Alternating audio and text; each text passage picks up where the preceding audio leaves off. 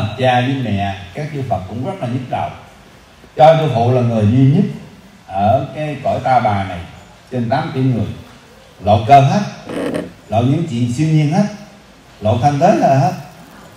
Mà những vị hòa thượng hoặc là những nhà tâm linh siêu luôn á khi họ thành thông hay là họ là những người không phải là con người giàu cho bất cứ những cái môn phái tà nào cũng vậy.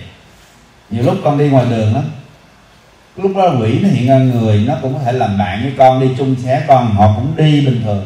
Họ quá thân rồi, họ đi tới họ biết cũng có. Ở Việt Nam có những cái lên cái cũng vậy. Họ cũng không có dám xưng hôn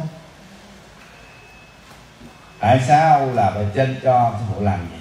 Là mục đích là thuốc đắng giải tật và cuối cùng thuốc đắng cũng chưa có à, có có, có, có giải hết cái tật của chúng sanh thời nay vì tâm trí họ luôn mờ. Họ chỉ chạy theo tiền tài vật chất tham sân si và những cái học vấn trong cuốn sách. Họ không bao giờ họ hiểu là ở ở một không gian ở một cái địa điểm lúc nào nhân loại chúng ta cũng đều sống song song với những thế giới vô hình.